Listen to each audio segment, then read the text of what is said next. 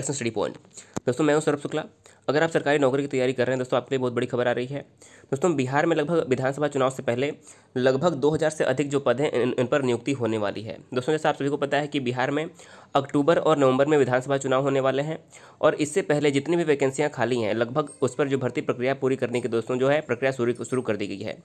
दोस्तों, इसमें लगभग बहुत सारे पद हैं जिसमें हम आपको इस वीडियो में पूरे बताने वाले हैं कि किस पद पर कितनी भर्तियाँ होने वाली हैं और बहुत सारी ऐसी भर्तियाँ जिस पर अगस्त या सितंबर तक जो है नियुक्ति पत्र भी दे दिया जाएगा और बहुत सारे वैकेंसी जिसका आवेदन जो है, फॉर्म भी जल्दी निकलने वाला है। दोस्तों, इसमें पंचायत सचिव के पाँच हज़ार से अधिक पद होंगे, इसके अलावा सिपाही भर्ती के दोस्तों तेरह से अधिक पद होने वाले हैं। दरोगा के नए पद आने वाले हैं। तो दोस्तों, वीडियो को लास्ट तक देखिएगा। इसके इस वीडियो में हम Bihar S inter level mains के एग्ज़ाम के बारे में बात करेंगे, क्योंकि सभी भर्तियों का जो कार्यक्रम बहुत तेज चल रहा है, इसलिए Bihar S inter level mains की जो परीक्षाएँ हैं, वो भी जल्दी ही आयोजित की जाएँगी और ये भर्ती प्रक्रिया भी जल्द, जल्दी ही पूरी की जाएगी। दोस्तों, अगर आप चैनल पहली बार है, ज़रूर सब्सक्राइब कर दीजिएगा बेलाइकन को प्रेस कर दीजिएगा, जिससे आने वाले सभी वीडियो आपको मिलते रहें। तो आइए शुरू करते हैं आज का वीडियो। देखिए, ये खबर है दैनिक जागरण का। देखिए, दैनिक जागरण में ये साफ़ साफ़ स्पष्ट रूप से बताया गया है कि चुनाव के पहले होंगी दो लाख पदों पर नियुक्तियाँ। दोस्तों, इसमें बहुत सारी पद ऐसे हैं जिन पर सिर्फ़ मेरिट के आधार पर नियुक्ति होने वाली है, यानी कि सिर्फ़ मेरिट के आधार पर नियुक्ति बिना किसी लिखित परीक्षा के होने वाली है। किस विभाग में कितने पद भरे जाने हैं, ये पूरी बात करने वाले हैं। इससे पहले आइए हम पूरा खबर पढ़ लेते हैं, क्या लिखा हुआ है। देखिए, लिखा कि बिहार विधानसभा चुनाव की अधिसूचना से पहले करीब दो लाख बेरोजगारों को नौकरी देने की जो प्रक्रिया है वह शुरू होने वाली है। सरकार द्वारा जारी, सरकार द्वारा दी जाने वाली नौकरियों में नियमित के अलावा बड़ी संख्या में संविदा और मानदेय वाले जो पद हैं, वो भी शामिल हैं। स्कूलों में एक लाख से अधिक शिक्षकों की, जबकि विश्वविद्यालयों में सहायक प्राध्यापक के नौ हज़ार पदों के अलावा अन्य श्रेणी के करीब छः हज़ार पदों पर नियुक्तियाँ होनी है। यानी कि, देखिए, स्कूलों में करीब एक लाख पच्चीस हज़ार से अधिक जो है नियुक्तियाँ होने वाली हैं। इसके अलावा हम पुलिस विभाग की बात करें, देखिए, पुलिस महकमे में विभिन्न श्रेणी के तीस हज़ार से अधिक पदों पर जो है नियुक्तियाँ होनी हैं। देखिए, पुलिस विभाग में लगभग तीस हज़ार से अधिक पदों पर नियुक्तियाँ होनी हैं। इनमें पंद्रह हज़ार की जो नियुक्ति प्रक्रिया है, वो पूरी हो चुकी है। और देखिए, पंद्रह हज़ार पदों के लिए जो है, जो आवेदन पत्र है, जल्द ही मांगे जाएँगे। इनमें करीब पाँच हज़ार दरोगा के पद और शेष सिपाही के पद भी होंगे। देखिए, जो पंद्रह हज़ार पद आने वाले हैं बिहार में पुलिस भर्ती के लिए, उनमें से लगभग पाँच हज़ार जो पद होंगे, वो दरोगा के, यानी कि जो एसआई के होंगे। और जो शेष पद बचते हैं, वो यानी कि दस से बारह हज़ार के पद लगभग जो होंगे वो सिपाही की भर्ती के पद होंगे। तो दोस्तों, आपके लिए बहुत अच्छी खबर है। अगर आप पुलिस की तैयारी कर रहे हैं तो आपके लिए दोस्तों, इस वर्ष जल्द ही आवेदन फॉर्म आने वाले हैं और जो बिहार एस मेंस के एग्ज़ाम होने वाले हैं, उसके बाद ही जल्द ही इसकी भर्ती प्रक्रिया भी पूरी कर ली जाएगी। देखिए साफ़ साफ़ लिखा है कि सिपाही चयन परिषद के, देखिए साफ़ साफ़ लिखा है, सिपाही चयन परिषद ने तेरह हज़ार से अधिक पदों पर अगस्त तक नियुक्ति पूरी करने की पहल तेज कर दी है। यानी कि जो सिपाही के तेरह हज़ार पदों पर चयन होना है, नियुक्तियाँ होनी हैं, इनकी पहल तेज कर दी गई है। करीब बारह हज़ार नई नियुक्ति की प्रक्रिया भी शुरू करने की तैयारी है। यानी कि जो बारह हज़ार नई नियुक्ति होगी, उसमें चार से पाँच हज़ार जो होंगे एसआई के पद होंगे और सात से आठ हज़ार जो होंगे वो सिपाही के पद जो दोस्तों, इन पर भर्ती की जाएगी।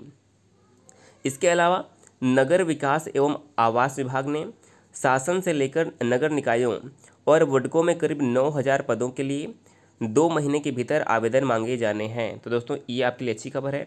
इसके अलावा दोस्तों, बड़ी खबर यह है कि बिहार में जो है, पंचायती विभाग में पंचायत सचिव के लगभग पाँच पाँच हज़ार से अधिक पदों पर भर्ती होनी है। देखिए साफ़ साफ़ लिखा है, पंचायती राज विभाग में पंचायत सचिव के करीब पाँच हज़ार पदों पर नियुक्ति होनी है। तो देखिए, पाँच हज़ार जो पद आएँगे पंचायत सचिव की, ये आपके लिए अच्छी खबर रहेगी। इसके अलावा कई अन्य विभागों ने भी रिक्तियों की सूचना बिहार लोक सेवा आयोग, बिहार कर्मचारी चयन आयोग, यानी कि दोस्तों जो बिहार कर्मचारी चयन आयोग है, इसने जो पद बाकी हैं, इसके ब्यौरा तैयार किया जा रहा है और जल्द ही उस पर जो है आवेदन फॉर्म मांगे जाएँगे। इसके अलावा बिहार तकनीकी कर्मचारी चयन आयोग को भेज दी गई है जो रिक्तियों, है, रिक्तियाँ हैं पदों की और जल्द ही इन पर परीक्षा करवाकर नियुक्ति पूरी की जाएगी। डॉक्टर और इंजीनियर जैसे विभिन्न श्रेणी के कई ऐसे भी पद हैं, जिन्हें सीधे अंकों के आधार पर, यानी कि मेरिट के आधार पर भरा जाना है। सरकार ने ऐसे पदों को प्राथमिकता के आधार पर भरने का निर्णय लिया है, यानी कि ऐसे पद जिन पर सिर्फ़ अंक के आधार पर, यानी कि मेरिट के आधार पर नियुक्ति होनी है, सरकार इन पदों को प्राथमिकता से भरेगी ताकि अक्टूबर से पहले इन सभी पदों को भर दिया जाए, क्योंकि विधानसभा चुनाव से पहले जो है इन सभी पदों पर भर्ती प्रक्रिया पूरी करने का जो है निर्देश दिया गया है। बता दें कि सरकारी अस्पतालों में छः हज़ार चार सौ सतहत्तर डॉक्टरों और नौ हज़ार पाँच सौ इकहत्तर ए ग्रेड की नर्सों की नियुक्ति भी होनी है।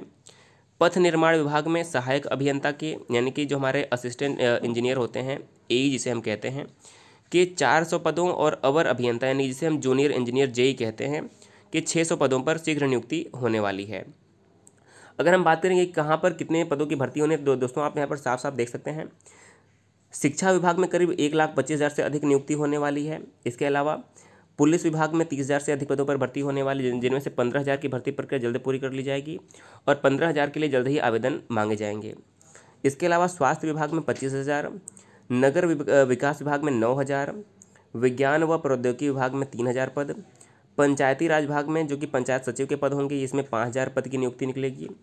ग्रामीण कार्य विभाग में करीब पंद्रह सौ, यानी कि डेढ़ हज़ार पथ निर्माण विभाग में एक हज़ार और पर्यावरण एवं वन विभाग में जो है पंद्रह हज़ार पदों पर नियुक्ति निकाली जानी है।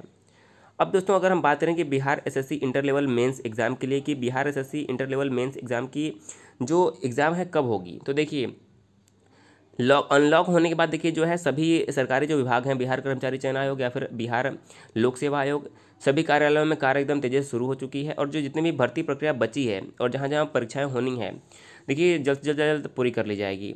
देखिए, आप सभी को पता है कि जो बिहार कर्मचारी चयन आयोग का जो इंटर लेवल मेन्स एग्ज़ाम है, इसमें फॉर्म भरने की जो डेट है, वो चौदह जून तय की गई है। और चौदह जून के बाद किसी भी कीमत पर जो है फॉर्म की तिथि नहीं बढ़ाई जाएगी। तो हो सकता है कि आपको अगस्त या सितंबर में या उससे पहले भी, देखिए, अगस्त तक जो है, अगस्त सितंबर तक आपको B S S C main की परीक्षा की संभावना पूरी पूरी होती है, क्योंकि इन परीक्षाओं की नियुक्ति प्रक्रिया भी जल्द पूरी की जाएगी। इसलिए आप अपनी तैयारी में, तैयारी अच्छे से करते रहें करते रहें। आपको हमारे चैनल पर लगातार जो है, वीडियो दिए जा रहे हैं। दोस्तों, चैनल को ज़रूर सब्सक्राइब कर दीजिएगा। कोई भी लेटेस्ट अपडेट आता है तो आपको ज़रूर मिलता रहेगा।